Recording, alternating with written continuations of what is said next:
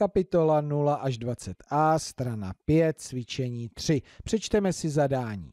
Přečti, prohlížej cvičení číslo 1 a vyber správnou možnost. Přečteme.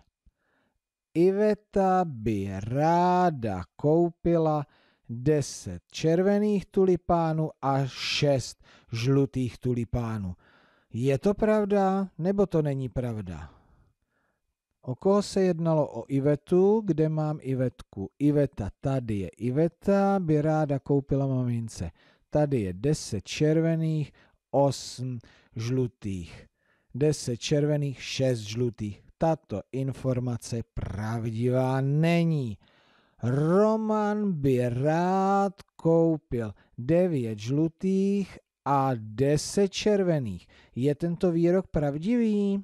Roman, tak ten je tady, by rád koupil mamince 10 červených a 9 žlutých.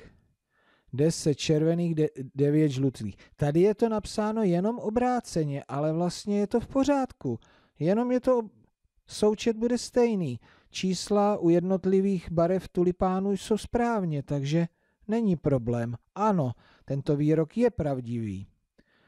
Barča. Barča by ráda koupila sedm červených a deset žlutých tulipánů. Barčo?